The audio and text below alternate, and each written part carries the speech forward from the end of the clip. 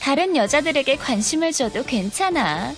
사장님이 흠모를 받으면 누나도 무척 기쁘단다. 그 대신 누나가 볼 수 있는 곳에서만 놀기야.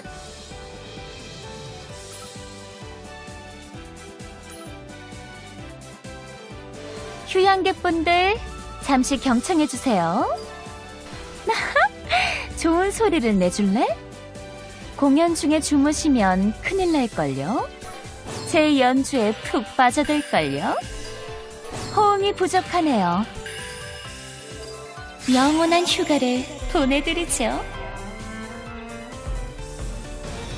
호응이 부족하네요. 힘차게. 천천히 가라앉아 버리세요. 갈매기 우는 소리가 들리나요? 지쳐 쓰러질 때까지 노세요. 선율 속에서 헤엄치세요. 사랑스럽게? 당신들이 돌아갈 곳은 없어요.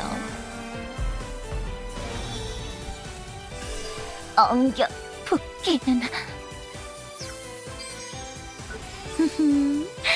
누나의 수영복 차림은 어떠니? 우리 사장님에게는 지나치게 자극적이었으려나? 그런 뜨거운 눈으로 어딜 보고 있는 걸까? 여기? 아니면 여기로나? 음, 말 잘 듣는 사장님에겐 마음껏 감상하게 해줄게.